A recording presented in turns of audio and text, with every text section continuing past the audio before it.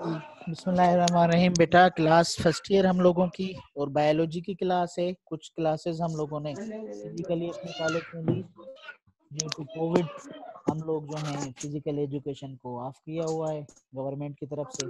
अब हम online system अपना स्टार्ट करेंगे। हमने क्लास के अंदर चैप्टर फोर जो है, स्टार्ट किया था, सेल वाला। तो सभी जानदार चीज़ें जो हैं, सेल्स की बनी हुई थी। ठीक है इधर वो प्लांट्स हो या एनिमल्स हो सेल्स की बनी हुई हैं और basic structural and functional unit of life सभी जानदार चीज़ों की कंपोजिशन को अगर हम देखेंगे कि सेल्स आपस में मिल के टिश्यूज बनाते हैं टिश्यूज आपस में मिल के जो है आर्गन्स बनाते हैं आर्गन्स आपस में मिल के आर्गेनिज्म आर्गन सिस्टम बनाते हैं।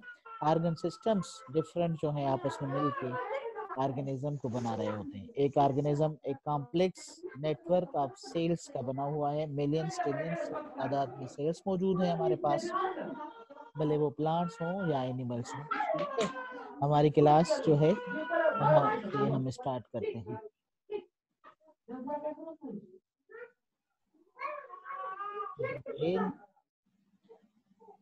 ठीक है what is cell cell is the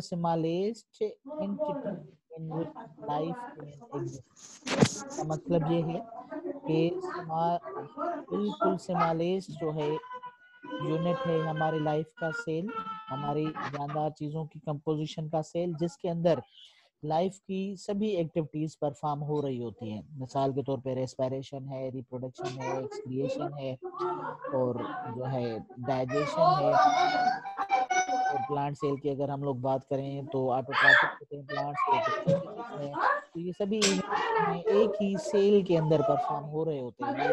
Basic unit of life smallest entity in which life can exist ये सेल की बिल्कुल आसान तरीन डेफिनेशन है। डिस्कवरी कैसे हुई सेल की? सेल डिस्कवर कैसे हुआ? बयान करेंगे हम लोग।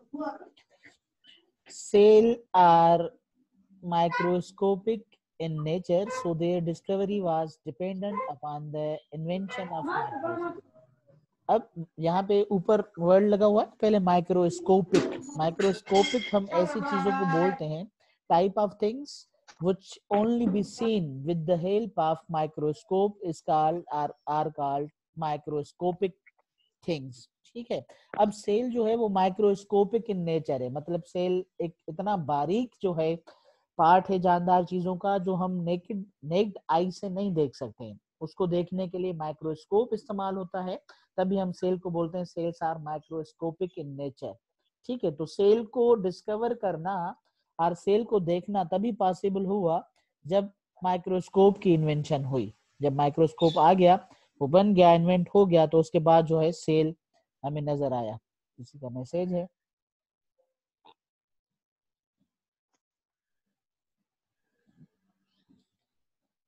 ये आपको स्लाइड बेटा निसार खान जो है नज़र नहीं आ रहा है बेटा। निसार खान स्लाइड्स नज़र आ रही है ना? नो सर नहीं आ रही। ऊपर वाली पेरा मैंने पढ़ी है उसमें जो फ़र्स्ट पेरा है उसकी डिस्क्रिप्शन में बता रहा हूँ। लिखी हुई चीज़ आप पढ़े ना। हमारा 40 मिनट्स का क्लास होगा उसमें मैं टाइप करूँगा डिस्क्राइब करूँगा तो थोड़ा टाइम किल होगा। ओके सर नहीं आ रहा है मोबाइल पे। मोबाइल आप हॉरिजेंटल ले लें स्क्रीन बड़ा कर ले आपको नज़र आ रहा है नज़र आ जाएगा।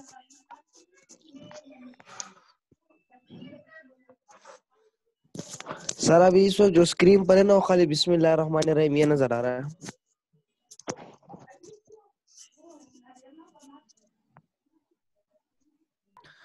तो ये क्या हुआ? हम कह रहे हैं सेल तभी देखना पॉसिबल हुआ बेटा, जब माइक्रोस्कोप इन्वेंट हुई। सेकंड इसका पॉस्टुलेट है। डिस्कवरी का microscope was invented by David Janssen in 1590 AD but the first useful microscope was invented by the Galileo great astronomer था ये 1610 में। इसने जो है माइक्रोस्कोप को डिस्क्राइब किया था और ये इन्वेंट किया था। ठीक है बेटा? ये इनकी डायग्राम्स हैं। पहला साइंटिस्ट ये गैलीलो हैं। और ये रॉबर्ट हुक है। 1665 में इसने जो है सेल को डिस्कवर किया था।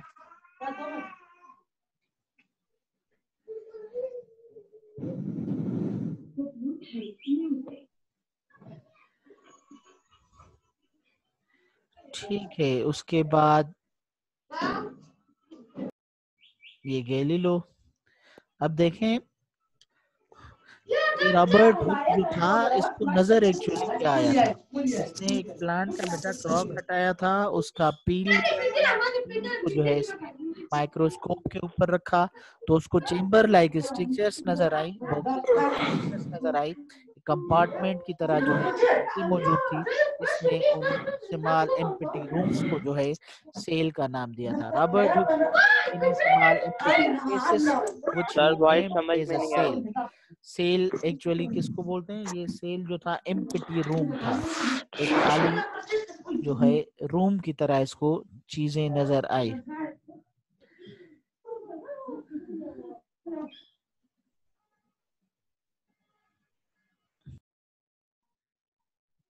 ठीक बेटा, ऐसे, ये माइक्रोस्कोप थी जिसके मदद से पहले पहले जो है, सेल को देखा गया और फ़र्स्ट में सेल कैसे नज़र आया, ये कंपार्टमेंट्स हैं। जो रॉबर्ट हुक को नज़र आए थे पहले।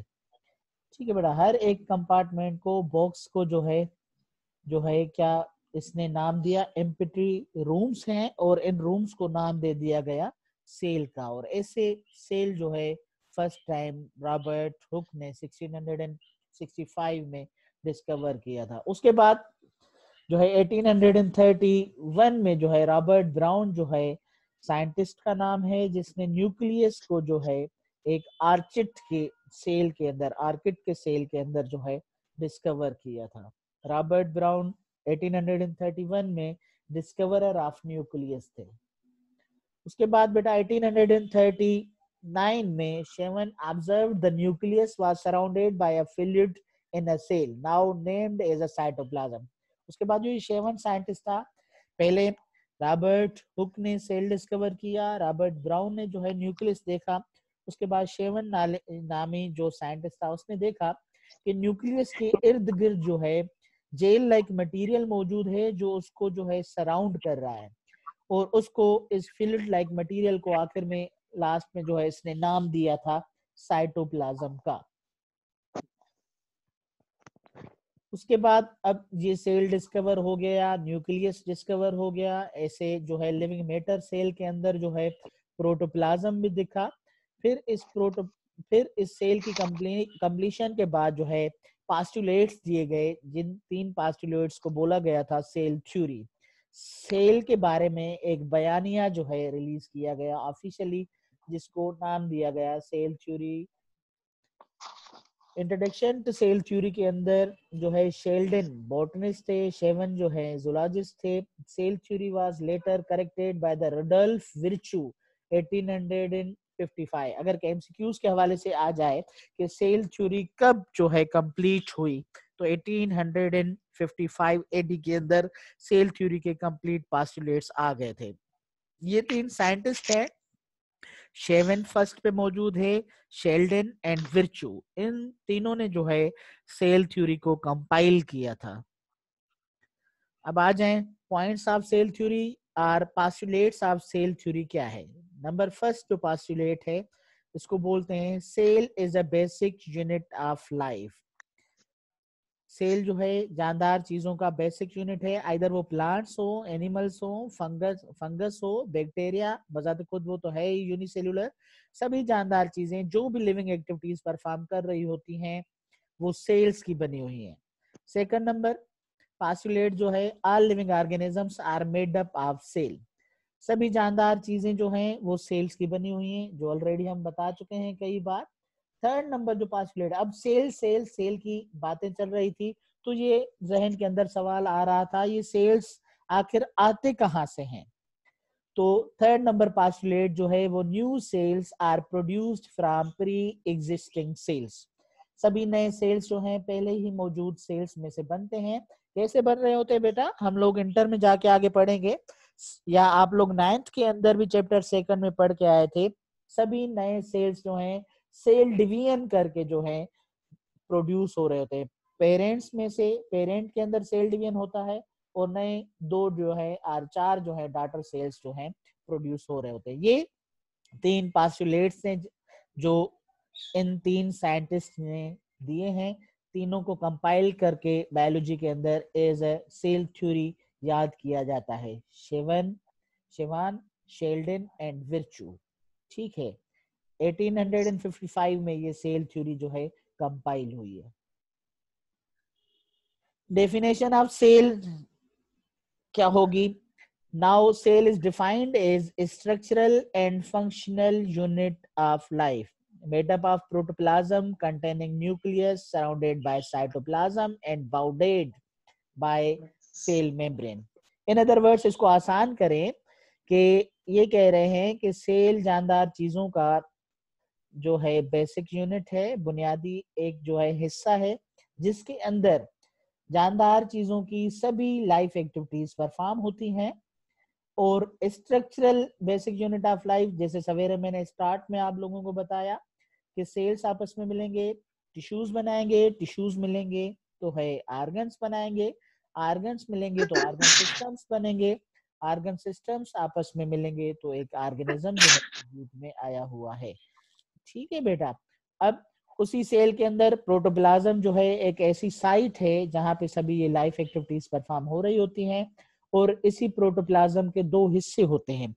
प्रोटोप्लाज्म का वो हिस्सा जो इनसाइड द न्यूक्लियस मौजूद होता है, इसको बोलते हैं न्यूक्लियोप्लाज्म और प्रोटोप्लाज्म का वो हिस्सा जो न्यूक्लियस से बाहर मौजूद होता है, इसको साइटोप्लाज्म बोलते हैं, ठीक है? अब साइटोप्लाज्म बजाते खुद एक मेम्ब्रेन से बाउंड किया होता है, मेम्ब्रेन इसको इनफोल्ड कर रही होती है और उस मेम्ब्रेन को बोला जाता है, बेटा, cell membrane, or plasma membrane, ठीक है? यहाँ तक सेल का इंट्रोडक्शन है कि सेल क्या है और कैसे बना हुआ है। किसी को कोई क्वेश्चन है? तो भले मुझसे इसके हवाले से जहाँ तक हमने पढ़ा है पूछ सकते हैं।